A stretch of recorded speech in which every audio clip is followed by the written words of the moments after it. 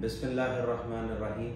आज election commission of Pakistan ने Goga party, फितना पार्टी और रंगीला पार्टी के सरबरा इमरान गोगे को सर्टिफाइड चोर जो है, वो डिक्लेयर कर दिया है और साथ ही उनको नाअहल भी कर दिया है। वो इमरान खान, जो पहले ही इंटरनेशनल अदालतों से झूठा और बद किरदार साबित हो चुका है। वो आज पाकिस्तान के अंदर इलेक्शन कमीशन ऑफ़ पाकिस्तान से खाइन भी करार दे दिया गया है।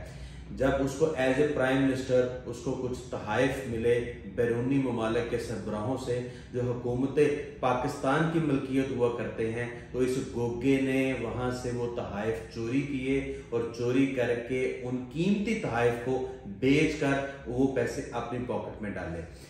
इसका हर आने वाला दिन जो है वो इसकी हकीकत जो है वो पाकिस्तानी कौम के ऊपर आश कर कर रहा है। पहले जिस तरह इसके किरदार जो है वो लोगों के सामने आता रहा, फिर इसका जो है वो यू टर्न्स के हवाले से वो सारी चीज़ें सामने आती रही, फिर इसके जो तब्दीली के झूठे नारे और दावे थे वो आपके सामने आते रहे। फिर जो पाकिस्तान के अंदर तू तू चोर चोर के कल्चर को लेकर आया, जो इमरान खान मियाँ मोहम्मद नवाज़ शरीफ के खिलाफ सबसे बड़ा साजिशी था। आज अल्लाह ताला की जात की रहमत से मकाफात अमल का खुद शिकार हुआ, जिसने मियाँ मोहम्मद नवाज़ शरीफ के खिलाफ साजिश गढ़ के एक झूठे पनामा का ड्रामा करके इकामा के अंदर मियाँ मोहम्मद नवाज़ शरीफ को नहल करवाया था। आज वो एक हकीकी चोरी के अंदर पकड़ा गया, बल्कि पकड़ा नहीं गया, जकड़ा भी गया। वो आज उसमें खाइन साबित हुआ और नाहल भी हो गया। अल्लाह ताला क्या जो निज़ाम कुदरत है, वो उसका फैसला होकर रहता है। वही तमाम जो है इज़्ज़त और जिल्लत की मालक है। हमें अल्लाह ताला से डरना चाहिए, लोगों के ऊपर झूठे इल्ज़ाम नहीं लगाने चाहिए। वो इमरान जो कल तक जलसों जुलूसों में तकरीर करके लोगों को चोर कहता था और सिर्फ़ इल्ज़ाम लगाता था, जो किसी भी अदालत से साबित नहीं हो सके।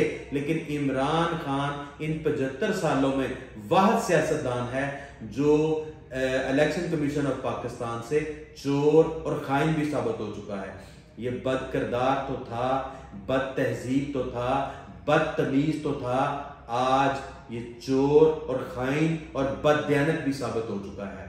हमें पाकिस्तानी कौम को इसकी हकीकत को पहचानना चाहिए। ये सिर्फ़ झूठे दावे कर सकता है, उन दावों का हकीकत से कोई तल्लक नहीं है।